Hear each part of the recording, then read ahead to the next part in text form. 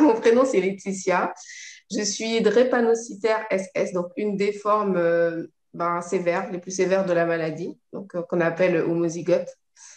Et donc, je suis infirmière, j'ai également un master en santé publique et je suis patiente experte.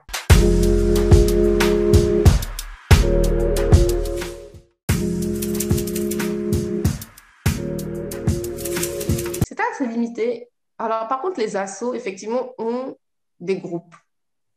Mais quand on a commencé, ils n'étaient pas, ils étaient pas très actifs, si actifs que ça. Il n'y avait pas vraiment de choses.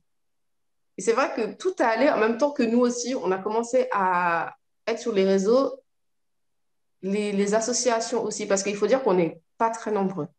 Mm. Et donc, on se connaît tous entre nous. Euh, je connais toutes les assos de DREPA en France. Ils nous connaissent aussi, nous, DREPA On n'est pas nombreux, puisque chaque conférence, chaque truc, on se retrouve tous. C'est toujours les mêmes, on se connaît tous.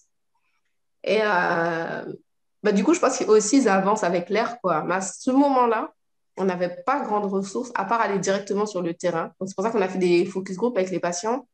Mm. Et puis, aller voir les médecins aussi directement mais il y avait déjà, oui, quelques groupes Facebook et tout. On a créé le nôtre aussi en parallèle. Mais ce n'était pas si flagrant que ça. Moi, j'avais déjà ma page.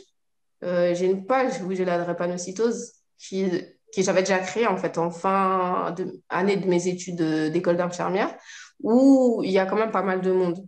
Et mm. du coup, c'est vrai qu'on s'en est beaucoup servi pour euh, faire connaître le projet, pour euh, parler, avoir des, des, patients qui parlaient, etc. Ça nous a beaucoup aidé. Euh, mais oui, non, il n'y avait pas grand-chose au niveau, euh, comment dire, digital, quoi. Ouais.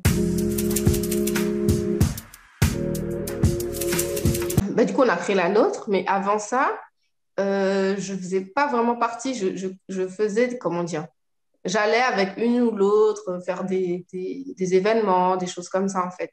J'étais quand même impliquée, mais j'en faisais pas partie vraiment. Enfin, j'en faisais partie une année, j'en ai fait partie. Mais euh, j'allais vraiment là où j'aimais bien les événements, quoi. Quelle que soit l'association, tant, tant, que l'événement était bien, que je pouvais donner un coup de main, etc., je le faisais, peu importe l'association. Donc, du coup, ce qui fait que je n'appartenais pas à une association en particulier.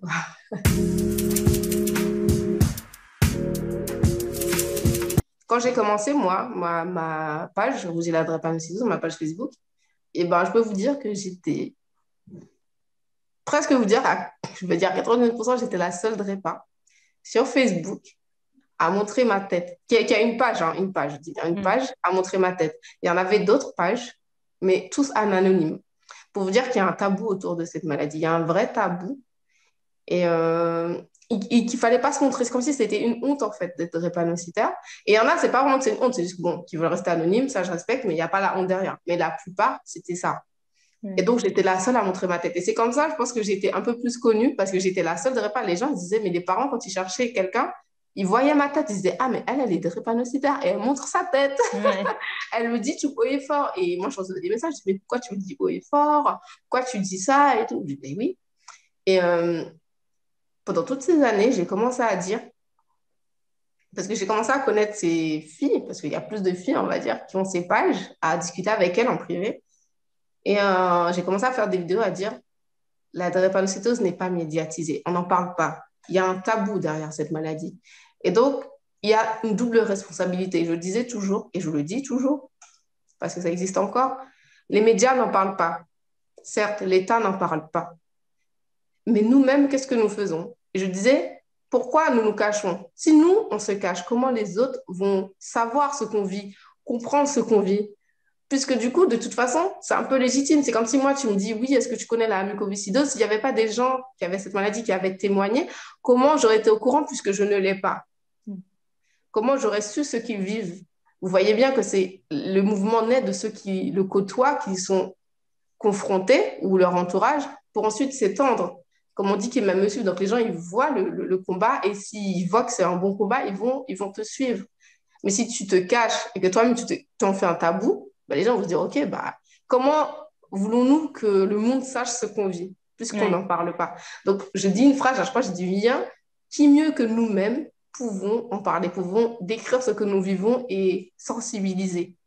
Et donc, j'ai fait un appel, j'ai dit, s'il vous plaît, témoignez, témoignez le plus possible. Et à partir de là, il y a eu beaucoup de pages qui sont sorties de l'anonymat en disant, bah ça y est, je monte ma tête, machin, et elles montent quasiment toute leur tête maintenant.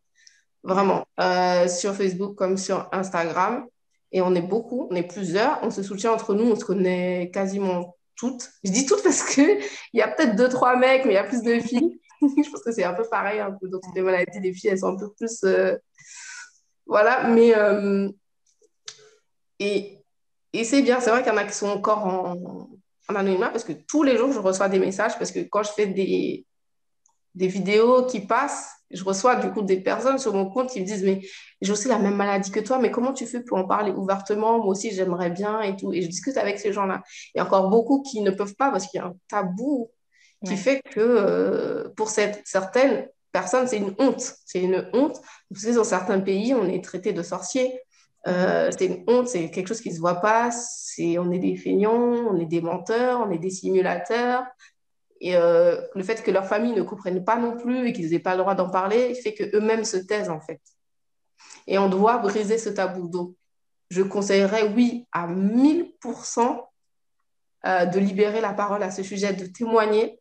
Et je dis bien à chacun, chacun fait à son niveau, comme, comme il peut. Parce qu'il y en a qui me disent, oui, je pourrais jamais faire euh, aller, euh, je sais pas, sur un plateau télé en parler ou faire une vidéo comme tu as fait alors que ça passe sur les réseaux sociaux. Je dis, tu sais, chacun fait à sa façon et c'est la même chose. Si tu parles à une personne de ton entourage, c'est déjà super bien. C'est la même chose parce que tu ne sais pas. Peut-être que lui, il en parlera à 10 personnes. Ces 10 personnes en parleront à 10 personnes. Et voilà, ça fait 100 personnes. Tu ne sais pas, en fait, l'impact que ça peut avoir. Donc, si tu le dis à une personne de ton entourage, ben, en fait, c'est déjà très bien. Et ils me disent, c'est vrai, tu as raison et tout. Ben, là, il y en a, ils viennent me dire, oui, j'en ai parlé hier à ma classe, je fais un exposé.